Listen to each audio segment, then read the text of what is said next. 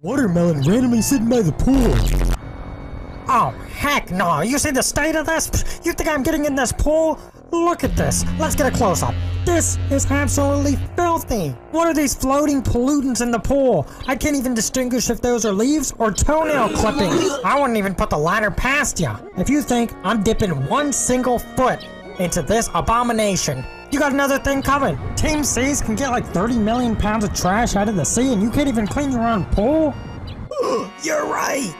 I can't believe I'd let my pool get into this state. It's been neglected for so long. Oh well, I got an idea. It's just like jellyfishing. Yeah, get every single tiny one in. Have this thing crystal clear. All right, let's see the damage. Ugh, I'd like to take a look at this under the microscope, see how many dead skin cells is in there. And is that a handkerchief? Okay, I'm gonna do a running cannonball. Ugh. Hey, watch where you're splashing. I'm working on them. Huh, amateurs.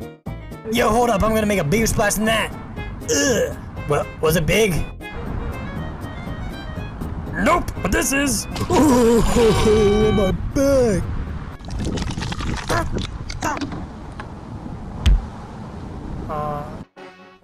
And brash is trashed. I mean, you're kind of an idiot for painting close to a pool, Squidward. Just saying.